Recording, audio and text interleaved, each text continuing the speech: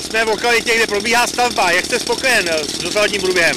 No, já jsem spokojen s dosavadním průběhem, protože opravdu eh, zhotovitel dodržuje to, co slíbil, to znamená, že veškeré práce probíhají za provozu, tudíž je potřeba si uvědomit, že určitě pro projíždějící řidiče zde jsou určitá omezení a věřím tomu, že práce budou dokončeny tak, jak bylo slíbeno v stanoveném termínu. Máte, máte nějaké konkrétní problémy třeba s kamiony? Jsou problémy. Jsou problémy, někteří e, řidiči, především řidiči kamionů, jsou neukáznění, nedbají dopravních značení a projíždí stavbou, což samozřejmě komplikuje život e, prácem zde v tomto úseku. Je vidět, že zároveň vlastně probíhá práce přímo v provozu.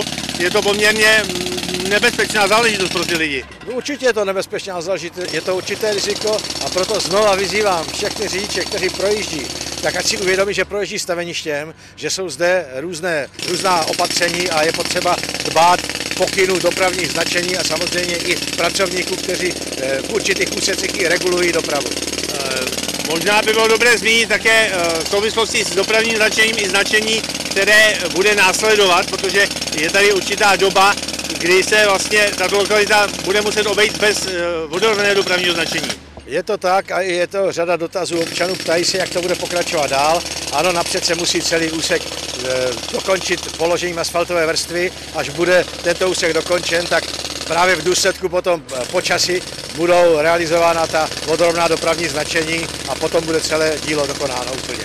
Takže v podstatě na jednotlivých etapách bude jasné, kde už je hotová vozovka, ale dopravní značení bude až po ukončení celé, celé záležitosti.